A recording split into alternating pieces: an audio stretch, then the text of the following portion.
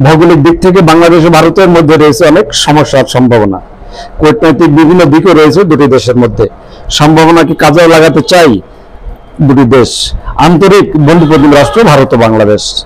দেশ বিভক্তির পর দুটি রাষ্ট্রের মধ্যে হয়েছে অনেক সমঝোতা চুক্তি। বাণিজ্যে এগিয়ে- এগিয়ে গেছে দুটি দেশ। হয়েছে ইন্ডো প্যাসিফিক চুক্তি ভারতের নরেন্দ্র মোদীজি সরকারের তৃতীয় মেয়াদে ক্ষমতায় আসার আশায় দিল্লিতে দুদিনের রাষ্ট্র সফর শেষে দেশে ফিরেছেন প্রধানমন্ত্রী শেখ হাসিনা। হয়েছে দশটি সমঝোতা স্বাক্ষর। নরেন্দ্র মোদী নিজেই ঘোষণা দিয়েছেন বাংলাদেশিদের চিকিৎসা সেবায় ই ভিসা চালুর। মহাসাগর, তিস্তা, গঙ্গা সহ বিভিন্ন বিষয়ের উপর সমস্যা সমাধানের উদ্যোগ নেওয়া হয়েছে। উভয় দেশ আন্তরিক সমস্যা সমাধানে। বাণিজ্যে রুপির ব্যবহার, রেল, নৌ, সড়ক পথে ট্রানজিট সুবিধার উপর গুরুত্ব দিয়েছে দুটি দেশ। প্রধানমন্ত্রী শেখ হাসিনা, ভারতের প্রধানমন্ত্রী নরেন্দ্র মোদীর আমন্ত্রণে যান নয়াদিল্লিতে।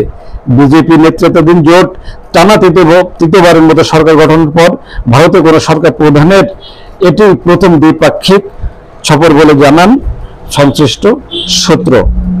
শনিবার সকালে প্রধানমন্ত্রী শেখ হাসিনাকে স্বাগত জানাতে রাষ্ট্রপতি ভবনে লাল গালিচা বিছানো হয়। এ সময় ভারতের প্রধানমন্ত্রী নরেন্দ্র মোদী নরেন্দ্র মোদী আনুষ্ঠানিকভাবে শেখ হাসিনাকে অভ্যর্থনা জানান এবং রাষ্ট্রীয় ভবনে ভারতের রাষ্ট্রপতি ত্রৌপদী, ত্রিপদী মুমর্ষর সঙ্গে সাক্ষাৎ করেন তিনি। এছাড়া, এছাড়াও বিভিন্ন বিষয়ে আলোচনা হয়। আলোচনার কিছু অংশ জানাব, দেখাবো, শোনাবো হয়েছে বিভিন্ন বিষয়ে। বাংলাদেশ ভূখণ্ড ব্যবহার করে ভারতের রেল ট্রানজিট তিস্তা প্রকল্প নিয়েও আলোচনা হয়েছে দুটি দেশের সরকার প্রধানের বৈঠকে। শনিবার ভারতের নয়াদিল্লিতে শেখ হাসিনা ও নরেন্দ্র মোদীর মধ্যে দ্বিপাক্ষিক বৈঠকে মোট দশটি সমঝোতা চুক্তি স্বাক্ষরিত হয়েছে। বৈঠক শেষে বিকালে সংবাদ সম্মেলনে ভারতের পররাষ্ট্র পররাষ্ট্র সচিব বিনয় মোহন কোয়াযাত্রা বলেছেন বাংলাদেশের ভূখণ্ডকে ব্যবহার করে ভারতের একটি অংশ থেকে ভারতের আরেকটি অংশে রেলের সংযোগ চালু করতে বিদেশের মধ্যে গুরুত্বপূর্ণ আলোচনা হয়েছে। ট্রানজিট চালুর পর ভারতের ট্রেন বাংলাদেশের দর্শনার্থী প্রবেশ করে চিলহাটি হলদিয়া বাড়ির সীমান্ত দিয়ে ভারতে প্রবেশ করবে। পরীক্ষামূলকভাবে আগামী মাসে বাংলাদেশ দিয়ে ভারতের রেল চলবে বলে জানিয়েছেন তিনি। নদীর পানির সঠিক ব্যবহার, তিস্তা প্রকল্প নিয়েও আলোচনা হয়ে দুই সরকার প্রধানের বৈঠকে। বৈঠক শেষে যৌ- যৌথ সংবাদ সম্মেলন ভারতের প্রধানমন্ত্রী নরেন্দ্র মোদী বলেছেন, তিস্তা নদী সংরক্ষণে এবং এর ব্যবস্থাপনার জন্য একটি কারিগরি দল শীঘ্রই বাংলাদেশে সাক্ষাৎ করবে।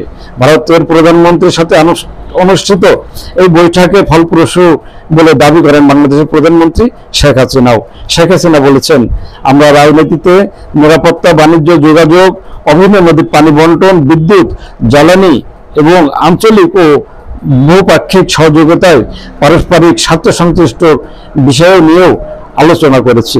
টানা তৃতীয়বারের মতো ভারতের প্রধানমন্ত্রী হিসাবে দায়িত্ব নেওয়ার পর দেশটিতে কোন সরকার প্রধানের এটি প্রথম দ্বিপাক্ষিক সফর বলে জানান তিনি। বর্তমানে পাঁচটি রুটে বাংলাদেশ, ভারত, ট্রেন চলাচল করে। এর মধ্যে তিনটি যাত্রীবাহী ইন্টারচেঞ্জ বাকি দুটি পণ্যবাহী। বর্তমান পদ্ধতিতে ভারতীয় ট্রেন সীমান্তে আসার পর বাংলাদেশি ইঞ্জিনে বাংলাদেশের অভ্যন্তরীণ আসে। বাংলাদেশি চালক তা চালিয়ে আনেন। ফেরার সময় একই পদ্ধতি অনুসরণ করা হয়। কিন্তু পরীক্ষামূলক যাত্রার জন্য ভারতের সাম্প্রতিক প্রস্তাবে বলা হয়েছে, তারা বাংলাদেশের দিয়ে দেশটির এক এলাকা থেকে অন্য এলাকায় ট্রেন নিতে চাই বাংলাদেশের গণমাধ্যমের খবরে এ বিষয়ে বিস্তারিত আলোচনা করা, বিস্তারিত ছাপানো হয়েছে।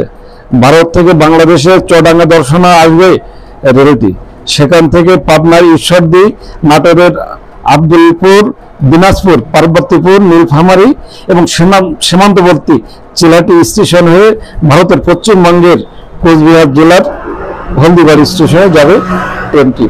তবে দেশটির নতুন প্রস্তাব অনুযায়ী ট্রেনটি হলদিবাড়ি থেকে যাবে ভুটানের সীমান্তবর্তী ডালগাঁও স্টেশন পর্যন্ত।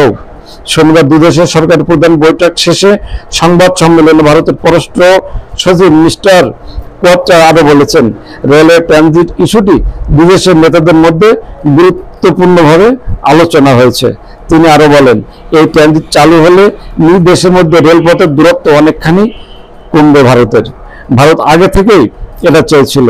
এটি কি, এটা কীভাবে বাস্তবায়িত হবে তার একটি পরিকল্পনাও এর মধ্যে চূড়ান্ত করা হয়েছে বলে জানিয়েছেন তিনি। এর ফলে গেদে দর্শনা সীমান্ত থেকে হলদিবাড়ি চিলহাটি রুটকে সংযুক্ত করা হয়েছে। দিল্লি থেকে বিভিন্ন সূত্র জানিয়েছে, নতুন রেলপথ নির্মাণ হবে নাকি? সেটি আছে সেটি সংস্কার হবে। সেটি পরিষ্কারভাবে বলিনি পররাষ্ট্র সচিব। তবে পররাষ্ট্র সচিব মিস্টার কুয়াত্রা বলেছেন, এই ট্রানজিট চালু হলে এটি উভয় দেশের মানুষের অর্থনৈতিক সমৃদ্ধি করবে। শনিবার বাংলাদেশের রাজশাহী থেকে পশ্চিমবঙ্গের কলকাতা রুটে ট্রেন চলাচল করবে। দুই দেশের মধ্যে সমাজতা স্বাক্ষরও সহায় হয় বলে জানিয়েছেন তিনি। বাংলাদেশ ভারতের মধ্যকার তিস্তা নিয়ে সংকট চলছে বহু আগে থেকেই। এই সংকট সমাধানে বাংলাদেশের পক্ষ থেকে তিস্তা চুক্তির দাবি জানানো হলেও এতদিনে তার কোনো অগ্রগতি একটি মহাপরিকল্পনা করেছে বাংলাদেশ। এটি তিস্তা মহাকল্পনা মহাপরিকল্পনা হিসেবে পরিচিত। বন্যা প্রমোশন ভাঙ্গন হ্রাস ভূমি উদ্ধার তিস্তা মহাপরিকল্পনা করে বাংলাদেশ। এই পরিকল্পনার অংশ হিসেবে বাংলাদেশের উজানে একটি বহুমুখী ব্যারেজ নির্মাণেরও চিন্তা রয়েছে বাংলাদেশের। দীর্ঘদিন তিস্তা চুক্তি না হওয়ায় বাংলাদেশের এই মহাপরিকল্পনা গ্রহণ করেছিল, যেটি নিয়ে একটু রূপরেখাও তৈরি করা হয়েছে। শেখ হাসিনা ভারত সফরে তিস্তা নিয়ে অগ্রগতি কতখানি হয়েছে সবার এ বিষয়ে আগ্রহ ছিল বিস্তারিত। বৈঠক শেষে সংবাদ সম্মেলনে ভারতের পররাষ্ট্র সচিব আরও বলেছেন, তিস্তা স্টেশনের প্রকল্প মুক্ত, প্রকল্প যুক্ত হবে ভারত। আমাদের এসব বিষয়ে বিস্তারিত মতামত জানান লাইক ও কমেন্টস করে। আর শেয়ার করে অন্যকে দেখার সুযোগ করে দিবেন আর আমাদের চ্যানেলটিতে নতুন হলে এখনই করে নিন সাবস্ক্রাইব